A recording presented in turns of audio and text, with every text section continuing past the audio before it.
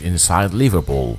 Liverpool defeated West Ham on Wednesday evening, but several crunch decisions still await Jurgen Klopp at the end of the season. Liverpool boss Jurgen Klopp may be swaying towards a ruthless transfer decision that wouldn't go down well with Virgil van Dijk this summer.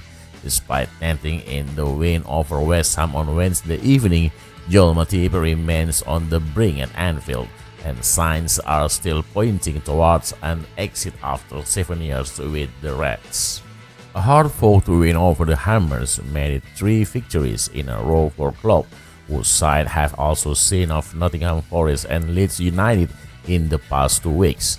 Lucas Paqueta opened the scoring at the London Stadium, but Cody Gakpo equalized shortly afterwards to keep the tie in the balance. As Liverpool dominated the ball and prepared Lucas Fabianski's goal, Matip himself came up with the winner as his bullet header made it 2-1 just over 20 minutes from time.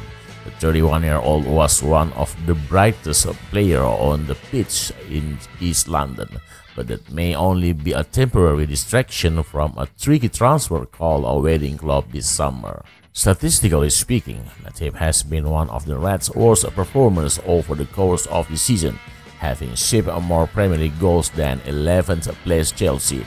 It is clear that things need to be rejuvenated in defense. And as Matip approaches the final 12 months of his Liverpool contract, the crunch decision seems inevitable at the end of the season. Due to turn 32 before the start of next campaign, the prospects of signing renewed terms appear slim.